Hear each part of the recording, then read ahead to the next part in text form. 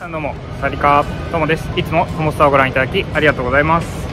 本日からインドネシアはレバラン休暇ということで大型連休になるんですけれども今回の休みは日本に帰国せずにこれからタイに向かいたいと思います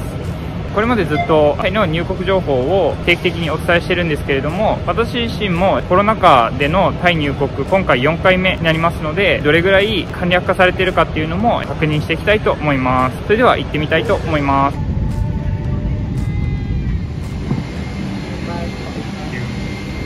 はい、えーと、タイに到着しました。タイに来るのは、えーと、約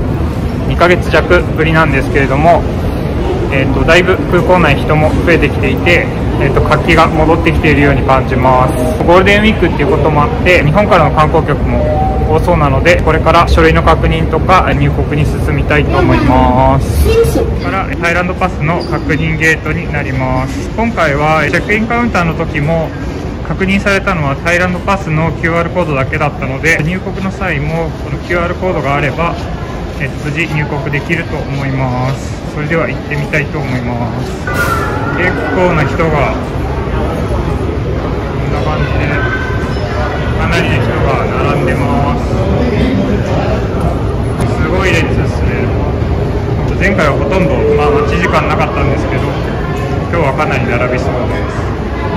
タイランドパスの確認ゲートはこのような感じになっていて私が入国した時は4月の末でしたのでまだ COE の確認ゲートもありました。タイランドパスの確認ゲートはここからではちょっと分かりにくいんですが2列になってますので右奥に混んでる時は進むと早く確認してもらえると思います。ゲートでの確認書類はパスポートとボーディングパス事前に取得したタイランドパスとアライバルカードのみになります。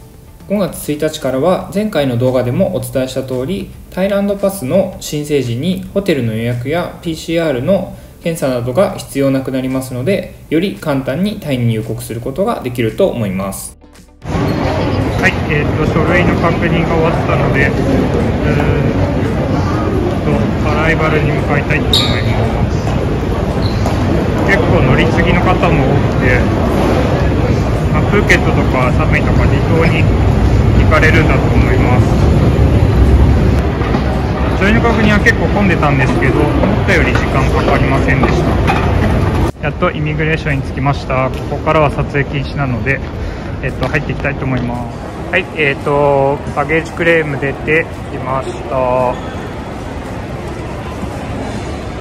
とこんな感じでホテルのサービスカウンターが並んでるんですけど前回の動画で、えーとご紹介した通り事前に調べてみて3番だったのでこちらで確認したいと思います。車のピックアップがまだ来てないということであと30分ぐらい待つことになりそうです。で空港は結構混んでるんですけど手続き自体は飛行機降りてからラゲージクレームでバッグを受け取るまで約50分でした。そんなに手続きとして、えっと、時間がかかるっていう印象はなかったんですけどこのホテルのピックアップのこの待ち時間が結構長いので5月1日以降はこれがなくなるとスムーズに旅行できるんじゃないかと思います。やっと迎えが来たのでホテルに向かいたいと思います。2 3 0分って言われたんですけど結局1時間20分ぐらい待ちましたこれからホテルに向かってきま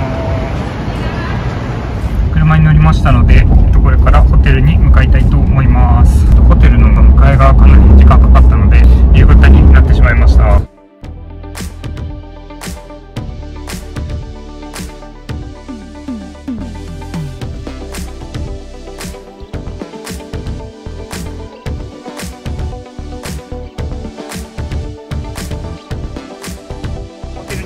ました。結構受付も混んでるみたいです。PCR 結局前回は病院によって受けたんですけど今回はまだ受けてないので、えっと、どうなるかわかんないんですけどこれからチェックインしたいと思います。はいチェックイン終わりましたのでこれから、えっと、PCR しに行きます。ロビーから上がって2階でこれから PCR 検査になります。部屋に行きたいと思います。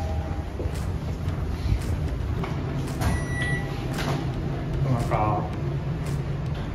い部屋に着きました。と今日宿泊するホテルの部屋に入ることができました。空港のオペレーションはすごい改善していて飛行機が着いてからだいたい50分ぐらいで全部の手続きが終わるんですけれどもその後のホテルへの移動だったりあと PCR 検査を受けるっていう時間があって結局飛行機を降りてからここまで3時間半ちょっとかかりました。5月1日からはホテルへの移動と PCR 検査がなくなるのでだいたい入国後1時間ぐらいでは自由になれるんじゃないかっていうふうに予想できます。5月1日からからさらに規制緩和が進んでタイ旅行をご検討される方もすごい増えると思うんですけれども、こちらの動画がご参考になれば幸いです。本日の動画良かったという方は、いいねを。また、タイ好き、旅作りの方は、ぜひチャンネル登録もよろしくお願いします。